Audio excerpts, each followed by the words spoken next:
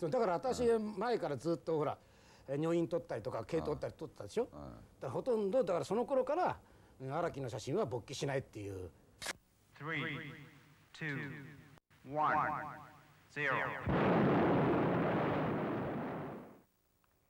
筑紫哲也のあの人に会いたい。2回目の今夜は今日本で一番過激かつあったかい写真家荒木信義さんです。まあ荒木さんのリクエストで銀座のクラブでのゆったりとした、まあ、そしてちょっとお聞きいただきましたが時にはぎょっとする会話となりました。荒木さんのね あの日記をほら噂の真相で読んで、となんか誰かと会って勃起せずとか勃起すとか書いてあるじゃない、え今日はどうしたって勃起しようがないわけで、まあ男同士で話してるそうそうそうそう。だから言わずもがなだけども、まあ女性じゃなくて残念ですけども。いやいやいや、であの勃起っていうのはね、単純ほら私の場合は掛け言葉。うん。だからね気合い言葉だから、ダジャレでだから男でも勃起するっていう精神的な意味も入ってますから、ね、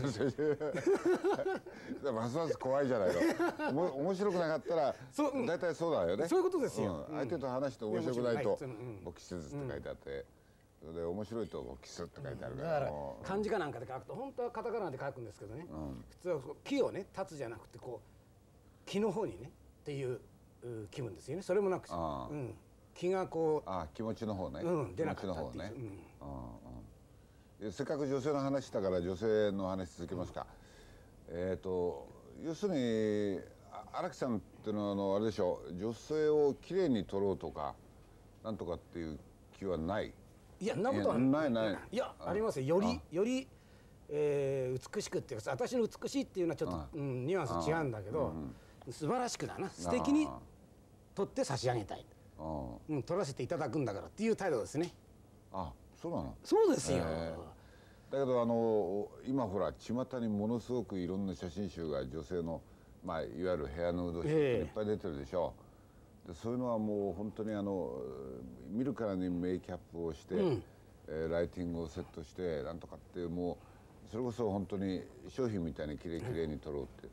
で荒木さんの写真見てるとそういう感じは全然ない、ですね。で私はほら商品撮影って嫌いだから、あうん、でその今ね、うん。でもそういうふうな流れで、ちゃんと例えばね部屋解禁になったとかなんとかで,、で部屋をきれいにね、ファーってして、でこうメイクしてっていうかもう一枚ね、うん。皮膚を着せるような感じで撮ってるでしょ？ね、あれは現代にの時代の中においての、うん。商品つうかそんでそれ取るともしかしたら時代っていうのがそういうダメな時代っていうかね、え見せかけの美の時代が移るかもしれないけど、私は保守ですから嫌いなのよ、うん、ちゃんとなるべくありのまま風あそれと本人のねメイクとかうん。表現ですよ。その本人が裸にしてるところを撮りたいんですよ。裸になったところ。だからこう衣服をね取れば裸ってことじゃなないわけですよ。だから私の場合はやっぱり、うん、顔にいっちゃうけどね、はうん、ああなるほど。そうすると要するにそうやってきれいきれいに撮るやつっていうのはもう一回実は衣服着せてるようなもんなんですそうなんです。もう一枚だからヌ,、うん。ヌードという衣服を着せてるわけですよ。うんうんそれも最近ヘアヌードっつったってうん。へヘア付きのね肌ですよ。うん。もう。んう、うん、自分のヘアじゃなくてっていうような感じですね。ああ写真が。写真が。そうでしょ？本人は私のヘアじゃないって言ってるかもしれない。あああなるほど、カツラかもしれないそうですよ、うん。うん、あいやそあそこに資生堂のあのギャラリー寄るからとか言ってさ。マンゴールドよね銀座の雲ですよ。な？これ綺麗なんよ。あの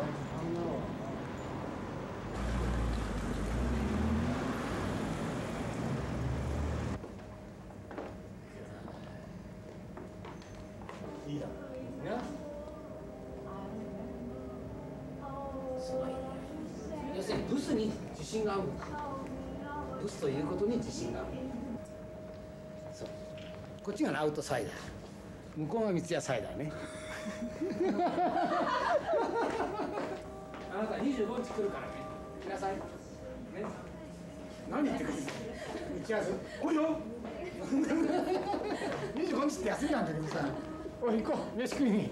あれした？俺すぐウニって言っちゃうんだけどちょっと待ってね。ウニ大好き？ウニは広いな美味しいな。はい。ウニを。受けてる。じゃあ僕の一言のことで。僕の団子ということですよすごいね。僕の団子をプレゼントしよう。クリスマスプレゼントね。これ撮ってる。危ない。な。こっちから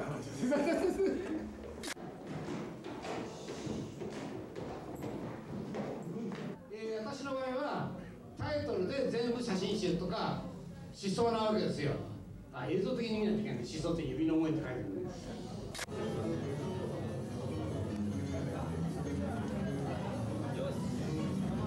危ないこれなんだこれは？その荒木さんが今まで女性の写真撮っててねそのたんびにそのお上のお叱りを受けたりいろいろお咎めを受けたりいろいろしたでしょで今はその点は相当緩んで、えーその街にこうああいうものが氾濫してますね。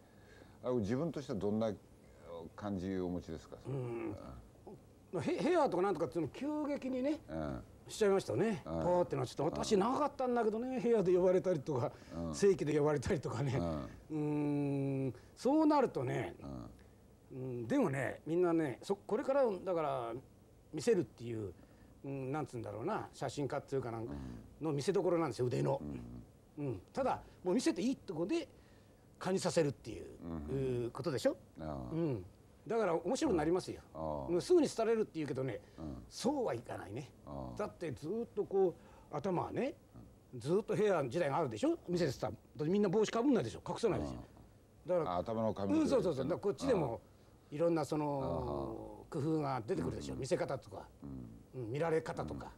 だから廃れはしないけどね私はあの何でもかんでもねいいよってのはあんまり好きじゃないよね。ね秘めたるところっていうか、作っとく。そそれは、その、うん、警察とかなんとかっていうことが、うん。ダメっていうことじゃなくて、自分自身でダメっていうね場所を持ってる方のが私は好きなんですよ。でそういうようなんで私的関係で取るっていう、ようなことでね、そういうようなことであんまりその女の子に「あんまり見せんじゃないよ」って私に言うんですけどどんどん見せてきちゃうから困っちゃう。あのまあ昔からその「失礼は花」っていう話、ねええ。言葉あるけども、あのそのお上がいろんなことをやることは余計なことだけども、これだけなんていうかオープンになっちゃうと逆に言うと何も感じなくなっちゃうですね。それこそそう。ですね。荒木さんの言葉で言うと勃起しなくなっちゃう、ええ。うん。だから私前からずっとほらえー女院取ったりとか毛取ったり取ったでしょ、だからほとんどだからその頃からうん荒木の写真は勃起しないっていう。最初からしないっていう。でもこれから、うん、私の写真はすると思うね、あうん、例えばねそのダメですよって言われて呼ばれて、えーでしょ？じゃあってわけで、えー墨汁で消しちゃってからね？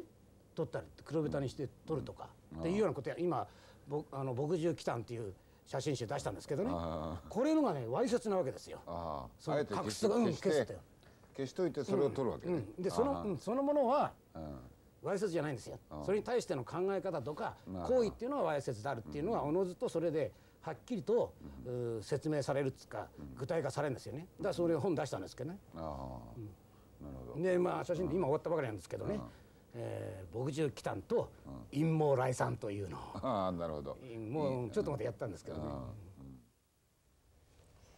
非常にあのダジャレも多ければ、まあ、要するに偽悪的なポーズっていうのは非常に強い人だけども、本質はすごくシャイな人ですね。あのそれの裏返しでこういうふうにこう出てくるんだと思うんですが、ただ荒木さんの写真っていうのは後で振り返れば僕はこの時代を一番きちんと抑えたあの描写描写した写真家として残るんじゃないかなという気がしますけど。この対話の続きは一部の地域を除いて今日の第2部でもたっぷりとお聞きいただきますコマーシャルの後はそうそう、うんそれと割合個人的なことは日本人らしいですね。まあでもあえて分類すれば政治と景気に腹立ってるっていうのが一番多いんでしょうね。やっぱりね。はいそうですね。さてこの後は一部でもご覧いただきましたけれども一部の地域を除いて再び天才アラーキーの登場ですぷりとご覧ください。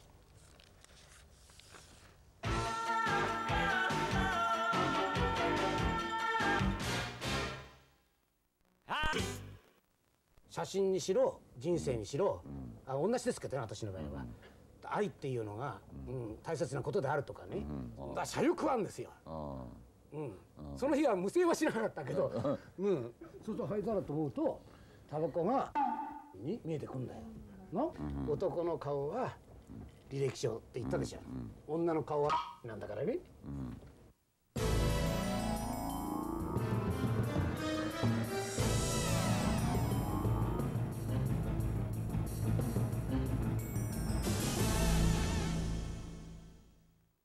ずいぶん思わせぶりなアバンでしたけれども一部に続いて天才アラーキーと筑紫さんとの対論たっぷり楽しんでいただこうと思います。さて荒木信義さんという方エッチな写真を撮る方というイメージ強いように思うんですけれども実はさまざまな写真撮ってらっしゃるんです。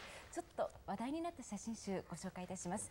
まずは殺人昭和39年え子どもたちの生き生きとした姿を写してどちらにありますかしら、えー第1回太陽賞受賞一躍注目を浴びました。そしてセンチメンタルな旅こちらは新婚旅行のすべてを写した写真集、えー大きな話題にこちらもなったんですがそして続いて、えーセンチメンタルな旅冬の旅こちらは平成2年にその奥様を亡くされた時の写真集です。遺体の写真まで写されていました。まあ、あの特にこの冬あのよく女性が撮られたい写真家のおもう一人が篠山紀信さんだけど、えーこの「センチメンタルな旅冬の旅」は特にその奥さんのお棺に入ってるのまで撮ってそこまでやるのかということで2人の間に論争が起きたことありますね。でそれは非常にこの議論っていうのは写真家として対照的なその何を写真家というのは何なのかということを示している点で対照的な論争だったと思うんですけれどもとにかくまああの面白い人ですけどもとにかくスタジオに来るのは嫌だっていうんで銀座のクラブで収録ということになりました。はい、今日本で一番スキャンダラスな写真家とも言われる荒木信義さん。対論をご覧ください。そのその陰謀の話になったんでそっちの方聞きますけども荒木さんはやっぱりそのあそこにこだわるっていう気持ちは非常に強いんですか？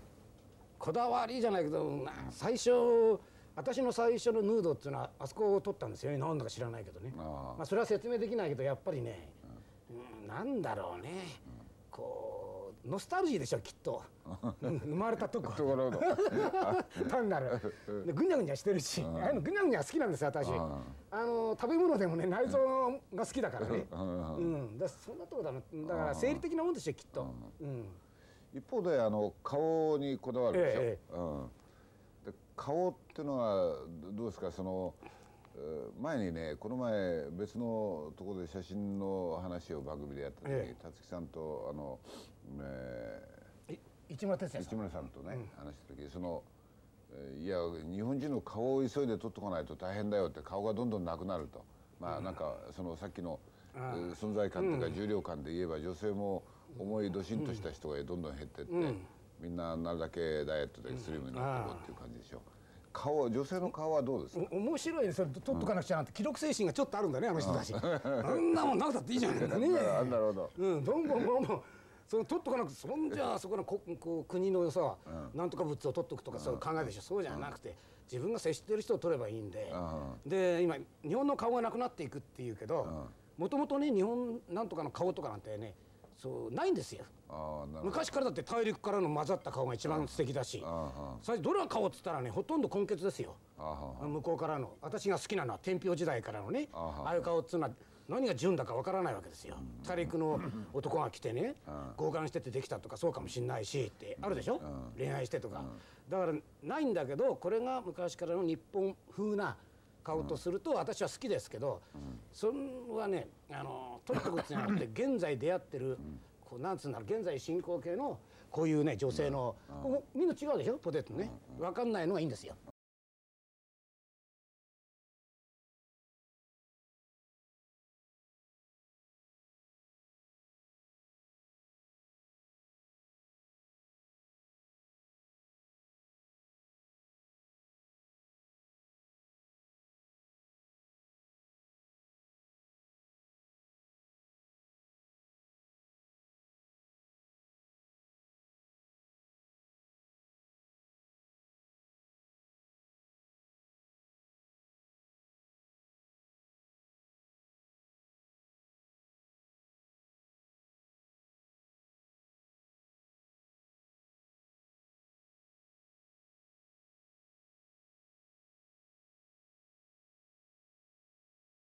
頭にいきなりバーッとこう撮るでしょ人なんです今日もね、もう隠してあ隠してるって。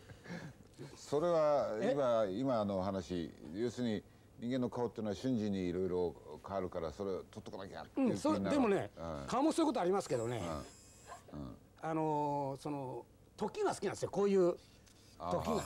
あで例えばこうそのなんつうんだろうどっちかって時空間って言うけど、あうんどっちかっていうと私の場合は空間をこうねフレーミングするより、そのこの今話してるんですか時をフレーミングする方のがうん性的に好きみたいな。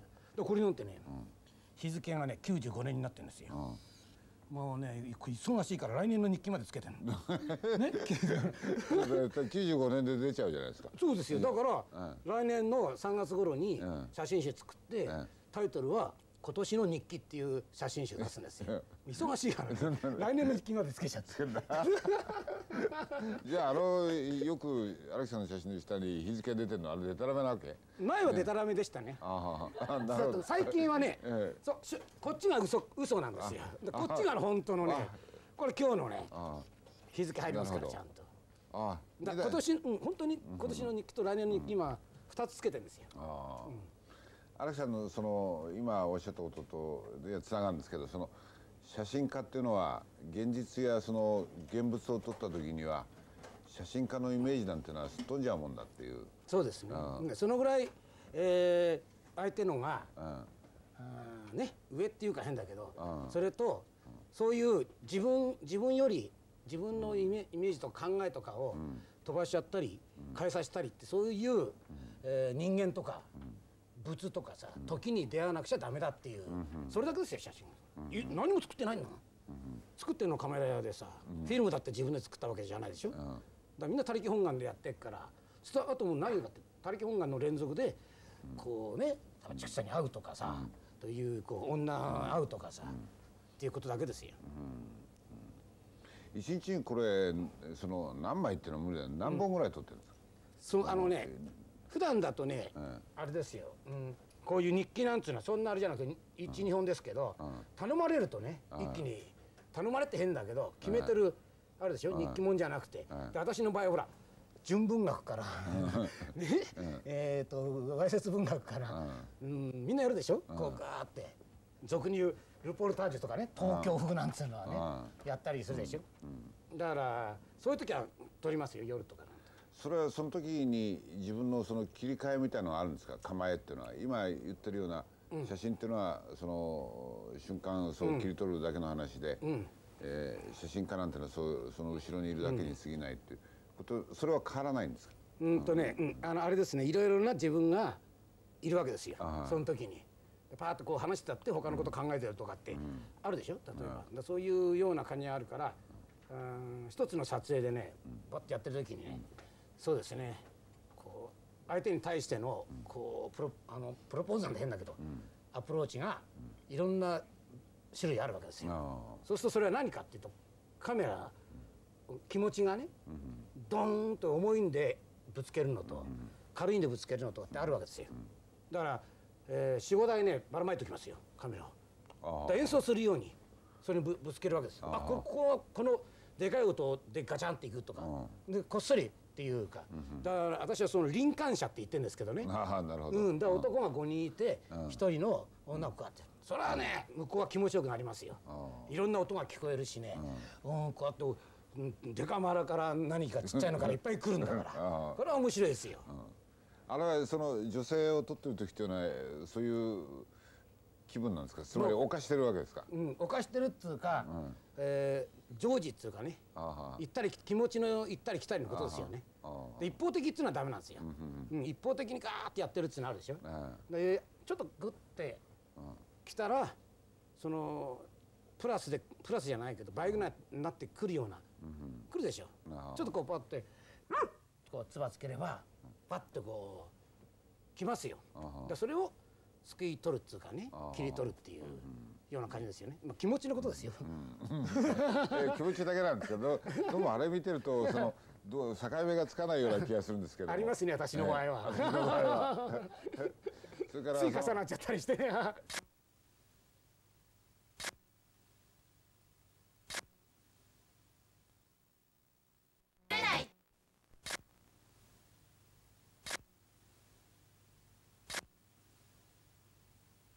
時々あのそれいろんな写真の中で荒木さん自身が写ってるのあるでしょ、ええ。あれは誰が撮ってるわけですか？だこれはだからさ、うん。こうやって「お今日はいいからちょっとちょっと取っといてよ」ってこうこうしてくださいほらほらあなるほど、ああここっちがね。これですよ。これ。あそうか。えー。簡単でしょ？うん。でも著作権は私だからね。あ なるほどね。カメラカメラを持ってる人には著作権があるんだから。だけどななんでしょうねそのあれ佐伯小太郎さんだったかな荒木さんのことを返してね。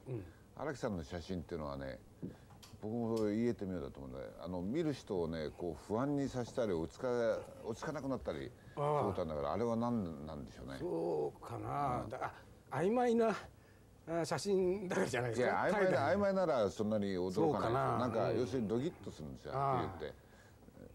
うん。もももしかしたらね、あれですよ。私と私が撮ってるのは大概ね、まあ、写真っていうのはもともと死というものをね宿命で持っていくからだけど死の予感つかなんかがね混ざっちゃって入ってっからかもしれない。もしかしたらね。だからだこの間もうエロエロエロスエロ撮ったってどうしてもエロスに向かっていくとタナトスとか死が匂いが濃くなってくる入ってくるその入り混じってないとよりエロティックじゃないし。でエロスがないと死の予感がないっていう、それはこの間のエロトスっていう写真集なんですけどね、やっぱりね、うん結局写真ってそのあたりだなと思うからだから要するにうって、うんうんとみんな死は死には死は気になるでしょ、なんとなく、だそのあたりかもしれないけどよくわからないですけどね、荒木さんのもう一つずっと撮り続けてるのに東京ってのありますよね、荒木さんの撮ってる東京っていうのはさっき死っていうのがあったけど、こう死につつある東京もうこれから先荒木さん撮った後は多分死んでんじゃないかなと思うような光景っていうのは割合多いような気がするね。そうどうもね街取るとねあれなんですよ、うんまあ死刑死刑って言ってるけど私の景色なんて言ってるけど、それが死んだ景色刑になっちゃうような、あのになっちゃうんですけど何かって言ったらこれはね、きっと私のね整理っていうかねかもしれないし、それとかね特にねそうだなまあ最初からそうだったかな。こうい、うん、例えば妻の死とかね大切なものを失った時の、で一番感じたのは「冬へ」っていう写真集なんですけどこれはもうねあと何ヶ月しか持たないって、うん言われたんです夏に入院してね、そうそれから冬の旅が始まるわけですけど、そう冬へ向かっていくわけです死に向かっていくと。そういうそういう思いで撮るとね、うん目うん目までねそういう思いになって街がこうねそうなっちゃうんですよ、うん、もう景色には映らない。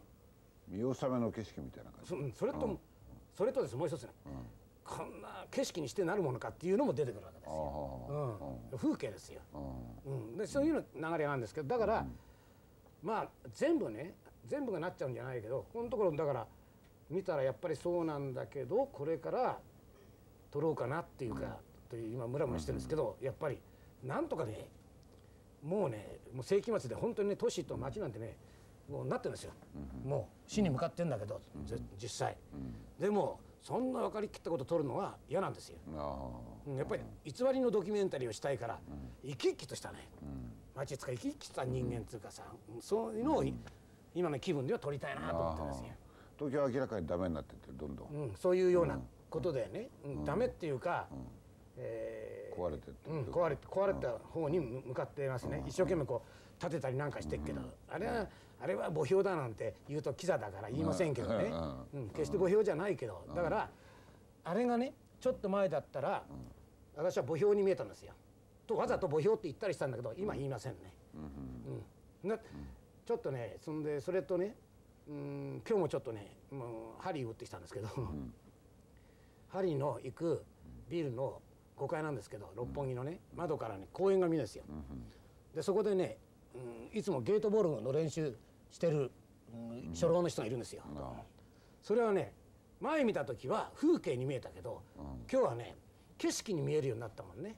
っていうのはもう、まあ、その光のことかもしれないけど、そのいい光だったから、で前見た時はあ光がなかったかもしれないけど、その老人っていうのが、うんそのね風風景に見えてたんですよ。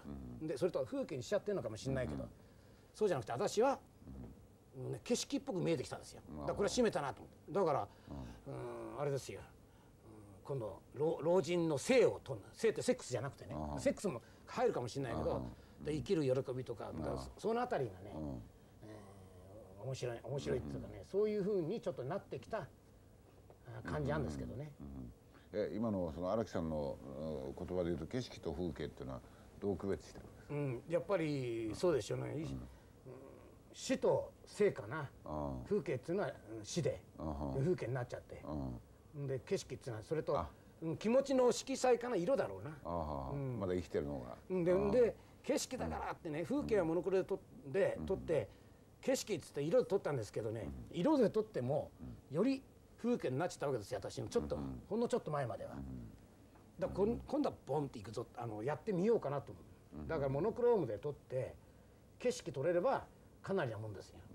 うん、でそのあたりの感じなんですよね。だから東京なり新宿なりね後で振り返ってね今のそれこそその時代っていうかたった今を。と多分残るのは変な言い方だけど荒木さんの写真じゃないかと。まあ他に大化でお撮りになった方はいろいろいますけどもああの時っていうのをパッとそんなこと言ってくれてとか言ってもらって。普通はねこう手を置くんだけど今日はね置かないんだよね。これこれね。何なんだ せっかく。少し非日常なんで そうそうそうそうそう。いるから。写真は未来に向か。っていくもんで結構埋められない写真はノスタルジーいいよ。反対側の大阪にいいっすか。いや忙しいんだせなんだこいつは。落花生投げろ。